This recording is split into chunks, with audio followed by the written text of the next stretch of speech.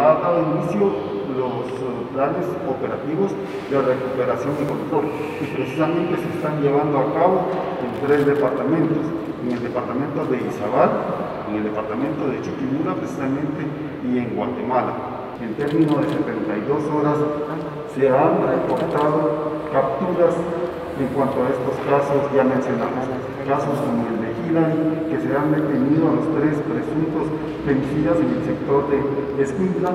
También hemos tenido respuesta en cuanto a los uh, demás casos. Uh, una persona, un hombre que asesina a su conviviente en el departamento de Cutiapa, se inicia la investigación correspondiente, se gestiona junto al Ministerio Público allanamientos y se procede a tramitar la orden de aprehensión de esta persona. En el momento se han recibido alrededor de 172, para ser específico, 172 denuncias.